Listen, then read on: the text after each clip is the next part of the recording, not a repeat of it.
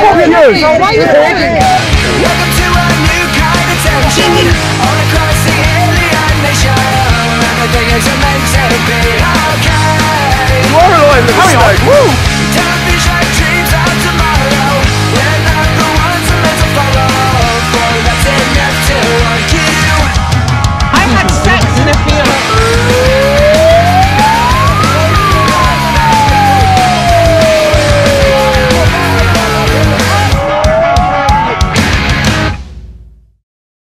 This party, we were approached. I was approached. We were offered money from the United States. They only wanted us to concentrate on Islam,